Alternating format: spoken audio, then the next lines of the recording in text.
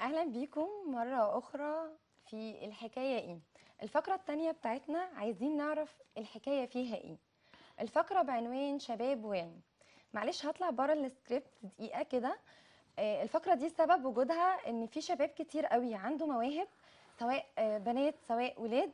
آه، في شباب كتير مش عارف يوصل لحلمه مش عارف يبين موهبته.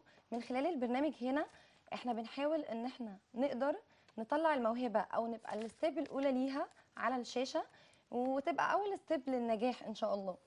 آه، طبعا معانا النهاردة آه، نجلة النويهي آه، بنوتة جميلة 26 سنة آه، عرفت إنها تأسس كيان مؤسسة جاليري نجلة النويهي لتعليم الرسم والفنون التشكيلية. طبعا أنا برحب بيكي يا نجلة منوراني.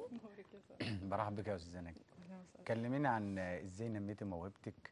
وإيه المشاكل اللي واجهتك؟ هو بصراحة يعني هو من الأول خالص ما كانش فيه أي يعني طنطا بالنسبة لنا تفتقر لل للكورسز أو كده. ما كنتش عارفة أنمي موهبتي خالص. فتعبت كتير على ما على ما لقيت حد يعلمني أو كده. وطلعت بره طنطا واتعلمت بره طنطا. بس كان الحاجة الرخمة اللي فيها يعني إن هي كانت الكلمة كلها بفلوس أي كلمة بفلوس. آه. فأنا حبيت إن أنا أي حاجة هتعلمها أعلمها لغيري يعني يعني خدت بدون مقابل مش زي ما اتعامل معاكي يعني. مش بدون مقابل خلينا متفقين إن هو مش بدون مقابل بس يعتبر بمقابل رمزي. بشكل رمزي يعني آه، آه. مش بأسعار مش كبيرة بالأسعار العالية وبنعمل. ايفنتس مجانية وكل حاجة مش نجلة عندي سؤال ليكي يعني نطلع شوية بره التقليدي مين نجلة نويهي؟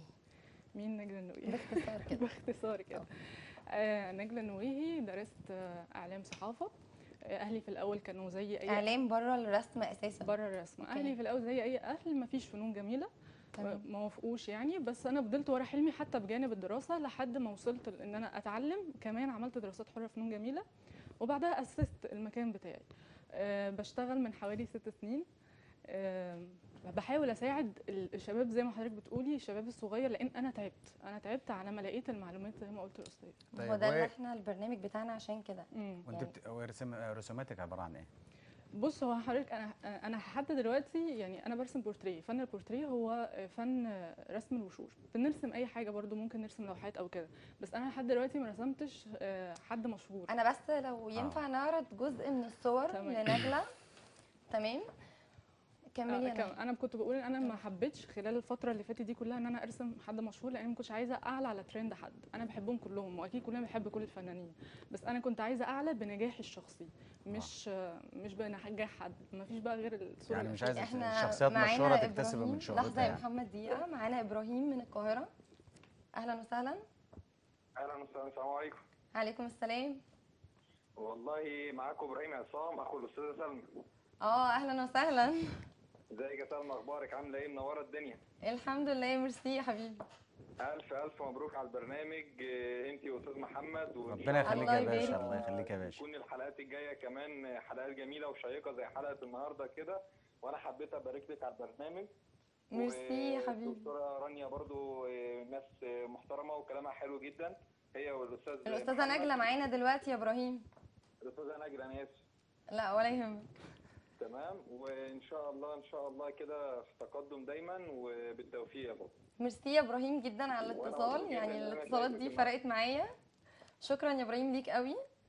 آه هنرجع كلامنا مع نجلة. آه نجلة أي طبيعي إن أي بنت أو أي شاب بيبدأ مشروع جديد بيحصل؟ يعني ظروف بتوقعه طبيعي بيقع ويقوم. إيه أكتر المشاكل اللي واجهتك أثرت قوي في المشوار بتاعك؟ بصي هو لحد دلوقتي ما حصلتليش دروب فظيع. آه، بس هو يعني المنافسين يعني مش أكتر والمنافسين في الغالب بيبقوا رجالة بس هم مش المفروض متخيلين المنافسين آه. يكونوا بنات لا مش بنات خالص مش على بنات. فكرة آه لأن البنات أنا اللي بدربهم يعني أنا نص أصلا المحاضرين وايه المشاكل اللي. بيسببوها لك يعني؟ المشاكل إن هم مش قابلين إن أنا واحدة, واحدة بنت يعني وتبقى وصغيرة يا. محمد كمان يعني أنا آه. في ناس بتجيلي بتقول لي بتكلمني في التليفون مدام نجلاء وبعدين يقولوا لي ناديها لي من جوه حضرتك أنا أنا سنة ما هو ده اللي أنا آه. بتكلم فيه النهارده في الحلقة اللي هو 26 سنة صغيرة أيوة، وقدرت إنها تفتح جاليري كامل ونشتغل معاها كاست كامل بالظبط. آه، تحت إيديها. هم مش قابلين برضه إن واحدة بنت تبقى ناجحة في وسط رجاله يعني. آه تقريبا آه هو كده هم تمام يا نجلة أنا عرفت يعني أو كان كان post آه، كنت منزلاه إنك بترسمي الجرايم. آه. إيه بقى الحكاية؟ أنا رسامة جنائية. أوكي. آه، بصي هو المفروض إن دكتورة في الطب الشرعي آه، كلمتني واتفقت معايا إن هي آه، أرسم لها جرايم. أنا عايزاكي تبصي الصور كده اللي على الشاشة وكملي كلام. بصي هو كل ده orders ما عدا اللي هي بتاعت سعاد حسني اللي كانوا عارضينها من شوية. دي أنا وخطيبي مبدئيا. آه. أنا اللي عملت الترند ده على فكرة. يعني زمان هو كان من حوالي أربع خمس سنين أنا اللي عملت الترند نص ونص. آه، ما رسمتش حد خالص على فكرة غير آه، سعاد حسني دي رسمها قريب لأن أنا بحبها هي مولودة يوم عيد ميلادي. فأنا بحبها. وكنت عاملة حالة كده للفيلم بتاع شفيقة ومتولي لأن برضو بحب الفيلم ده؟ وده؟ آه، ده شركة هندسية كانت طالبة مني آه، لوحة في في يعني بتتعاملي مع. الشركات آه كمان؟ آه. ب- في في التشطيبات بنروح نشطب مثلا لو في كافيه لو في شقة بنعمل اللوحات بتاعته فدي جميل كانت. اخر حاجة عملتها. والباقي orders زي ما قلت لكم هو تبقى orders أنا ما رسمتش فنانين. كملي لي موضوع رسم الجرايم لأن هي حاجة جريئة قوي عشان آه. انت بنوتة طبعا. آه. فيعني بصي هي بتيجي بتجيب لي المحضر وبتقراه لي أو بنتكلم فيه. أنا المفروض أنا بتخيل الجريمة لأن هم بيبقوا عايزين يشوفوا الجريمة. مش كل الناس عندهم القدرة التخيلية يعني. أنا عندي القدرة دي. فبرسمها زي ما يكون المشهد متصور بالظبط. يعني ضرب إزاي أداة ال- الجريمة كل حاجة. عايزين بس معانا اتصال. بوسي من الجيزة. أهلا وسهلا. ألو. سلمى. بوسي إزيك؟ منورة الشاشة. يا روح قلبي وألف مبروك على البرنامج. ميرسي يا بوسي جدا. ميرسي يا حبيبتي. حبيبتي برنامج تحفة وإن شاء الله يبقى أحسن برنامج في الدنيا كلها وحلقة مفيدة جدا. وانتي زي القمر على ميرسي البرنامج يا حلو بوسي، ربنا يا سلمى. حبيبتي ربنا يخليكي. حبيبتي يا سلمى وألف مبروك يا حبيبتي الله بالتوفيق إن يبارك فيك. الله. الله يبارك فيك يا تفضلي بوسي دايما في نجاح يا رب. ميرسي يا حبيبي. متشرفة بيكي وأنا بتفرج عليكي يا سلمى وكلنا فخورين بيكي. حبيبتي ميرسي. حبيبتي يا سلمى. معانا نرجع لنجلة كملي. بس فأنا المفروض إن أنا بتخيل الجريمة وبرسمها عشان ترفق بالمحضر يعني.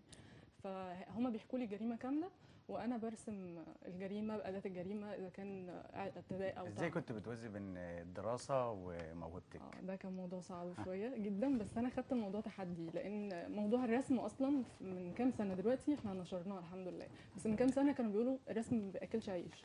لا ما لا بيجيبش- إزاي ده آه. فن آه، بالظبط لا هم كانوا لا، شايفين فن، لا، آه، فن. فن بس ما؟ بياكلش عيش مش آه، مش وظيفة مش فن وإبداع آه هو- في ناس شايفينه فن وإبداع بس ما بيأكلش عيش فأنا عشان آه. أثبت نفسي أنا كنت بين الدراسة أنا كنت خاسة 15 20 كيلو كده بين الدراسة بين السفر كمان وبين إن أنا أدرس كمان في فنون جميلة فكنت موفقة أنا مش عارفة أنا كنت جايبة الطاقه دي يعني. منين آه وكنت بشتغل توازن. يوم امتحاني كنت بشتغل بدي بدرس محتاجة أعرف بقى مم. كل الأطفال والكبار اللي عندك عشان أنا عرفت إنك بت... بتدربي أو بتعلمي على الرسم أطفال صغيرة مم. وشفت صور رسم ليهم فالصورة بتاعت سعاد حسني أهي على فكرة آه بحبها حلوة أوي. أوي. صورة جميلة جدا على فكرة بصراحة. قولي لي بقى الأعمار الأطفال عندي من أربع سنين آه، أنا بديهم وأنا أستاذة منار العبد كانت معايا برضو آه، بنعلمهم من البداية خالص مبدئيا بس أنا عايزة أدي نصيحة لكل أولياء الأمور. أنا م- مش عايزة حد يقول أنا بحب الرسم فأنا هخلي ابني يتعلم رسم. الموهبة لازم هو يبقى من آه جواه مش الموهبة فريضة. جواه يعني. آه آه. الموهبة مش فريضه خالص. فبلاقي ناس بيجوا لي ما عندهمش مواهب بس أنا بحب الرسم وعايزة ابني كذا. عايز يتعلم وخلاص لكن الأطفال بقى اللي عندهم موهبة بي- بيبقوا جبارين. يعني التعلم من الصغر كالنقش على الحجر فعلا. فعندي أعمار من أربع سنين لحد 10 أو 12 سنة. ده محتويات مختلفة. من أول 12 سنة بنبدأ بقى في الرسم الاحترافي لحد 60 سنة. عادي بعلم ناس أكبر مني. تمام. إحنا معانا اتصال. ألو السلام عليكم. عليكم السلام ورحمة الله وبركاته. عليكم السلام ورحمة الله وبركاته. إزيك يا أستاذ محمد؟ إزيك يا باشا؟ عامل إيه؟ أستاذ محمود معانا؟ إزيك يا أستاذ محمود؟ عامل إيه؟ الحمد لله تمام. اتفضل يا باشا. إزيك يا أستاذ سلمى؟ الحمد لله ميرسي. ألو؟ آه، أنا هو بس ممكن نوطي فوزي. التلفزيون بس شوية عشان الصوت عالي.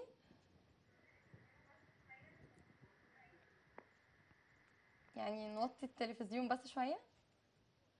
طيب أستاذ محمود شكرا. ممكن حضرتك تعيد الاتصال بينا تاني؟ لأن الاتصال قطع. كملي يا نجلة معاكي. آه، بس فبقول لك بداية بقى من سن 13 سنة بنبدأ بمحتوى احترافي شوية لأن الطفل ساعتها بيكون خلاص عنده وعي إن هو ياخد أي حاجة صعبة. لكن يعني هو أنت فاتحة مركز وكده و... آه ومش رسم بس على فكرة. أنا معايا بنات بت أنا عرفت إن أنت عاملة فنون تشكيلية انت كتير. فاتحة مركز وبيجي لك ناس فنون يعني؟ تشكيلية. آه آه. تدريب. وكل أنواع الفنون وال handmade والمزيكا. أنا معايا بنات تانية كتير معايا إيه ال handmade ده؟ handmade يعني حاجات بتتعمل بالإيد تصنيع شنط بالإيد بيعملوا كروشيه بالإيد كل حاجة ممكن يعني أي حاجة في آه حياتنا طبعا نعملها hand بالايد. تفصيل كل حاجة hand. made. نجلة أنا عايزاكي تكلميني بقى على أول رسمة نجلة نويهي رسمتها. ومين اللي كان مساعدك فيها؟ يعني أنت أكيد أكيد sure أنت كنتي بتسألي حد أو بتستعيني بحد. أول رسمة professional ولا أول رسمة في حياتي؟ في حياتك أول رسمة في حياتك يعني أول رسمة في حياتي دي أنا كان عندي أربع سنين. فرسمت فيها لا أنا عايزة بعد ما نجلة قررت آه. إن خلاص هو ده مجالي اللي أنا ه... اللي أنا هكمل فيه وأنا هنسى الصحافة والكلام ده كله. أيوة. فأنا محتاجة الرسمة دي. بصي هو أنا مقررة. يعني أنا وانس إن أنا أصلا قررت إن أنا هتعلم رسم وهرجع تاني للمجال ده أنا مقررة أنا هبقى لدرجة إن في ناس كانت بتقولي انت بتقولي أي كلام انت مش عارفة إيه. أول رسمة بقى. أول رسمة. ما كانتش عجباني بصراحة لأني كنت خدت كورس وما كنتش راضية عن نفسي. لكن في رسمة فرقت قوي كانت أول رسمة ألوان خشب. كانت إيه؟ آه، كانت بنوتة عادية خالص بس بضفيره ما بعتهاش دي. آه، آه، كانت الضفيره بتاعتها طويلة كانوا الناس بتقولي إحنا عايزين نشد الشعر من كتر ما هو حقيقي يعني. ففرقت مع ناس كتير قوي وفاكرة برضو إن أنا نزلتها على page وجابت آه، لايكات عدت ال 1000 أو 2000 كمان. فكنت مبسوطة لأ أكيد أنا في حاجة. وكنت بعملها لوحدي يعني مع نفسي خالص مش مش تبع كورس ولا أي حاجة. فعرفت إن لازم أكمل ومحتاجة آخد معلومات أكتر آه، فعشان كده عملت search ورحت بقى اتعلمت الرسم الاحترافي. اتعلمت اتعلمت،. الاحترافي أيوة. الاحترافي. أيوه. آه، يا جماعة إحنا أي حد عايز يتواصل مع نجله نويهي هيكون رقمها على الشاشة تحت. ونجلة أنت مكان ال center بتاعك طنطا؟ في طنطا. تمام جميل قوي آه، نجلة بما إنك بنوتة وبداتي متاخر أنا عايزة أعرف أنت بداتي مشروعك إنك أنا هفتح مكان وهشيل مسؤولية الإدارة دي من إمتى؟ بصي أنا بشتغل أصلا من وأنا عندي 20 سنة. أنا instructor مع مع الكلية. آه، بس آه، من حوالي أربع سنين أنا من حوالي أربع سنين أنا قررت أفتح لأن أنا كان عندي أفكار كتير وكنت عايزة أساعد ناس كتير. المؤسسات ما كانوش يسعوا كل ده يعني كانوا يقولوا لي لأ كفاية أنت علينا. وأنا عايزة أساعد. فهم ما وافقوش على أفكاري. بعد كده قلت لأ أنا هفتح مكان أنا هعمل مكان لوحدي. اشتغلت على شابو يا نفسك. نجله آه، معلش هناخد بس يا جماعة فاصل سريع وهنرجع تاني في الحكاية. إيه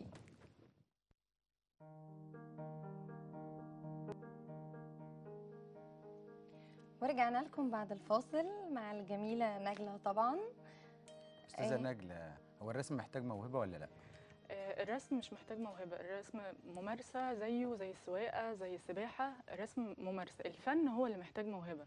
الرسم إحنا اوريدي بننقل الحاجة اللي قدامنا بننقل الصورة اللي قدامنا فمحتاج مهارة هي مهارة مكتسبة. لكن الفن إن إحنا بقى نكسر القواعد دي إن إحنا نعمل حاجة فنية الحاجات المترقعة هي فن. لكن الرسم مش محتاج موهبة خالص. من أول سن 13 سنة خليني أقول اجتهاد واشتغل على نفسك. اجتهاد وممارسة آه. من سن 13 سنة. قبل 13 سنة ما يجيش كورس. بس الموهبة يا نجلة هنا بتضاف يعني الموهبة بتفرق. بتضيف حاجة حلوة للرسم بتفرق. بس في ناس عندها وقت فراغ على الأقل. بتضيف روح للرسمة. ما هو ده اللي بتكلم فيه. في فرق ما بين الرسام والفنان. الفنان بيعمل بي- بيضيف روح للرسمة. بيفتكر. بالظبط بيبتكر لكن ال- الرسام ما هو إلا شغال. هو بيرسم بينقل بالظبط. ففي ناس كتير بتبقى عندها وقت فراغ ونفسها تتعلم رسم أصلا أنا ما عنديش موهبة. لا عادي جدا. نستغل وقت فراغنا ونتعلم رسم. ممكن نلاقي عندنا أصلا موهبة. يعني هو اجتهاد شخصي يعني. هو ممارسة بلس الموهبة. يعني اللي عنده بقى موهبة بتفرق معاه. هستأذنك بس يا نجلة معانا. اتصال ايمان من القاهرة. ألو؟ ألو ألو. أيوه.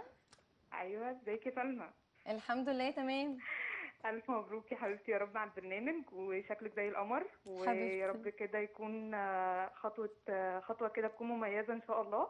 بإذن وتدخلنا جديد بإذن الله في الإعلام ونشوفك أكبر مذيعة إن شاء الله في مصر كلها. تسلمي لي يا ايمان. تسلمي لي يا حبيبتي. الله يبارك محمد فيك. ونجله معاكي أنتي ما شاء الله زي القمر. ويعني يعني جو أهيد يعني ربنا يوفقك يا رب في حياتك يعني.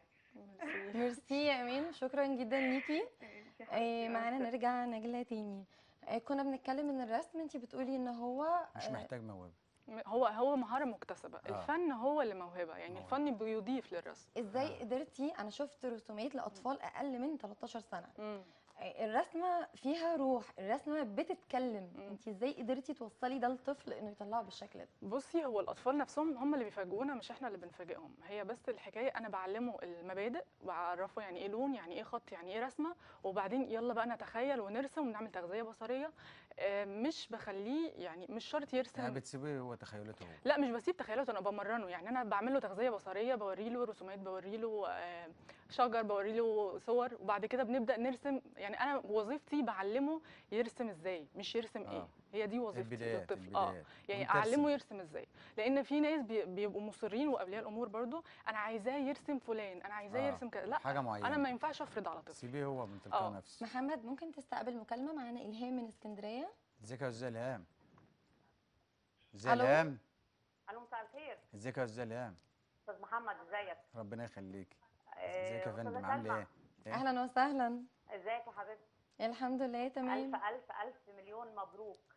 الله يبارك فيك يا رب. منورة يا حبيبتي وفي تقدم إن شاء الله أكتر وأكتر. ميرسي جدا ميرسي لحضرتك. آه، كنت عايزة بس آه، آه، تعملي لنا بس برنامج وتجيبي فيه مختصين إزاي يعلموا الأطفال إن هم يعتذروا. لأن دي إحنا إحنا مفتقدينها في الزمن ده. إيه سياسة الاعتذار. سياسة الاعتذار. أوكي. أوعدك إن هتكون معانا حلقة هخلي هجيب لك دكتور فيه. ده جامد جدا جدا جدا. ده يختلف عن جيل الثمانينات وجيل التسعينات. حاضر جدا. أنا عارفة إن إحنا مفتقدين ده حاليا بسبب الدلع الزيادة من كل الأمهات. أوعدك إن هتكون في حلقة بإذن الله يكون فيها آه، يكون ده موضوع برنامجنا. شكرا ليكي جدا. ولاتصالك. نرجع لنهله لنجلة الجميله تاني. سوري قولي لي يا نجلة انت يعني أما بيجيلك طفل أول بداية تعليم الرسم بتبدأي إزاي؟ أنا بقعد أتكلم معاه لازم أصاحبه في الأول لازم يحبني. يعني مش بتدخلوا رسم direct على طول؟ لا إحنا بنقعد نتكلم واصلا أنت بتحب الرسم؟ يعني في ناس زي ما قلت لك بتجي لي تقول لي والله لما بحب ماما هي اللي جايباني. إجباري يعني. آه آه ف يعني بفضل أتكلم معاه في الأول وأتعرف عليه وأحببه فيا وبعد كده نبدأ بقى تعالى بقى نجرب ويلمس بس الألوان الحب بإيديه. بيفرق برضه في أيوه. طبعا. يعني هو لو ما حبنيش مش مش هيستقبل آه مني. معلومات plus إن الأطفال طول الوقت تركيزهم مشتت. فأنا لازم أخليه ينتبه لي يحترمني ويحبني الاثنين فبمسكه الألوان بفهمه إيه الألوان وي- ويلمسها. طب تعالى نشخبط شوية تعالى نعمل بعد كده أديله بقى الأساسيات. فيبدأ يعني يفهم إن هو تدريجي في يعني. كورس. آه. بعدها بيبدأوا. يفهموا إن هم فعلا في كورس. الأول بيبقوا فاكرين جايين يلعبوا بعد كده بيلتزموا. على فكرة الأطفال بيبهروني بصراحة أكتر من الكبار. بصراحة فعلا؟ جدا. الاستيعاب. آه، الاستيعاب عندهم أعلى بس مزاجهم. فهو عشان كده الاستيعاب عندهم أعلى. انت كل سؤال بقى يعني وقت ما عشان عايز يفهم يفهم مش عايز مش عايز خلاص. قولي السؤال. قولي سؤال بتلجأي للشدة أحيانا معاهم؟ بصي مش مش شدة اللي هو أنا مش مدرسة خالص بس اللي هو بوكر فيس أنا مش بضحك على اللي أنت بتعمله بس خلاص. آه. هو بقى بيفهم إيه ده؟ أنت ده مش زعلانه مني وخلاص. بس معانا التليفون. محمد ممكن نستقبله؟ شيماء من الغربية. ألو؟ ألو. إزيك يا أستاذ شيماء؟ عليكم. إزيك يا أستاذ شيماء؟ السلام. أنا شيماء مأمون من الغربية. أهلا وسهلا يا فندم شيماء. أهلا وسهلا. إزيك يا سلمى عاملة إيه؟ الحمد لله. انت عاملة إيه؟ ألف مبروك حبيبتي على البرنامج الله يبارك فيكي يا رب. وعايزه طبعا يعني شهادتي ممدوحه في نجلة. قولي لي يا شيماء أنت كان ليكي حد عند نجلة بيتعلم رسم؟ حضرتك أنا بنفسي كنت عند نجلة ويوسف بنفسك؟ طبعا ابني كان هي معايا ويوسف طب أنا عايزة أعرف أنت قصتك إيه مع نجلة؟ الحكاية إيه بقى؟ الحكاية إن يوسف آه، ابني آه، بيحب الرسم جدا من هو صغير. وابني أنا كده. آه، فأنا قعدت أدور على كذا مكان إن أنا أوديه فيه إن هو يتعلم رسم وكده ينمي الموهبة بتاعته. فرحنا كذا مكان بس كانت حاجات بسيطة يعني الدنيا ما كانتش يعني قد كده. يعني نجلة عملت. بصمة معاكم؟ لا النجلة عملت يعني شغل جامد. كفاية أصلا روحها أنا عندي يعني يوسف آه، كان رايح لها تقريبا 11 سنة بيموت فيها يعني كانت ماما بتاعته هي صغننة آه بس هي ماما بتاعته. ميرسي ليكي يعني عنده حق يعني هي نجلة دي بالنسبة له دلوقتي ما شاء الله 14 سنة واطول مني حاجة كده يعني ما شاء الله. بس بالنسبة له لا هي نجلة متميزة بكل اللي أنا شفته والرسومات اللي هي جداً، الأطفال رسمينها جدا. لا لا يعني- وعندها قدرة على التواصل مع الأطفال ومع ومع الكبار يعني ما شاء الله عليها بصراحة ما شاء الله عليها. أنا بقول لك أنا نفسي أخدت كورس معاها واتعلمت وش- ورسمت بورتريهات ألو شكرا يا شيماء. هو الاتصال قطع تقريبا معانا وليد. ألو؟ أيوه السلام عليكم. عليكم السلام. أيوه أستاذة سلمى؟ ألو أهلا وسهلا. آه ألف مبروك على البرنامج. وبرنامج جميل وربنا يتمها لكم على خير إن شاء الله. بإذن الله. وربنا يكرم معاك الأستاذ محمد برضو والأستاذة نجلة طبعا مثال كويس جدا ربنا يخليك يا باشا. للشباب اللي هو بي بيعمل مشاريع وأنا قاعد منسجم منها جدا ومبسوط جدا إن هي بت- بتتكلم عن طاقة الشباب اللي تحب تعمل حاجة لا تعملها مش لازم تتقيد بموضوع الدراسة من بتاعتها الدراسة آه وربنا يوفقها إن شاء الله. وربنا يوفقها شكرا. جدا يا أستاذ وليد شكرا جدا. آه نجلة أنا محتاجة منك message لكل الشباب اللي بيتفرجوا علينا بصي آه، أنا أحب يعني أوجه لهم رسالة إن هم لازم يبقى عندهم حلم وعندهم هدف وي target وه يبقى في target معين target آه. ولازم أحققه وهحققه. يعني حتى أنا يعني ما كانش حد متخيل إن أنا أعمل كل ده. وكانوا بيقولوا أنا بقول أي كلام وأنا أصريت وعملت. وفي على فكرة طلبه عندي بيشتغلوا من هم عندهم 15 سنة و16 سنة. أهاليهم كانوا في قدامهم مثل أو قدوة. بيحاولوا يقلدوها. بالظبط. وبيدوا دلوقتي يعني أستاذة نجلة الأطفال بيبقى عايزين حاجات تحفيزيه إيه التحفيزات اللي اللي أنتوا بتقوموا بيها لهم عشان و- ت- يعني تشجع موهبتهم غير؟ اللعب جوه المحاضرة إن إحنا بنلعب غير بقى ال treats البونبون وكده الرسم نفسه أصلا تحفيز. يعني أنت أيوة. نفسك ترسم إيه؟ فلان تعالى أكيد لازم تعملوا مسابقة جوائز. آه مسابقة الحاجات للاطفال ما. بنصحش. كويس إن حضرتك قلت دي. مسابقة للأطفال ما انصحش خالص. ممكن مسابقة للكبار الفكرة؟ تحبطهم. انت حضرتك انت بتتكلم مع طفل مشاحنات يعني ومنافسة وكده؟ آه وتحبطه أنا دلوقتي بجيب طفل عشان يثق في نفسه أكتر. أصلا الرسم بيزود الثقة في النفس. آه، يبقى صاحبه أحسن منه لا يبقى أنا كده بحبطه أنا يعني بوظت كل اللي عملته فيها منافسة وفيها لا منافسة دي للكبار اللي فاهم. هو فاهم هو غلطان لكن إيه. الأطفال هتبقى مؤثر عليهم هو آه، للأسف يا. نجلة وقت حلقتنا خلص. بس يعني في أسئلة كتير. أي حد عنده استفسارات لنجلة هيكون رقمها على الشاشة دلوقتي. ممكن يقدر يتواصل معاها. للأسف وقت حلقتنا خلص. آه، بس هنستناكوا الحلقة الجاية. استنونا وإحنا هنستناكوا كمان تشوفونا في الحكاية إيه وعشان تعرفوا حكاية الحلقة الجاية إيه. استنونا.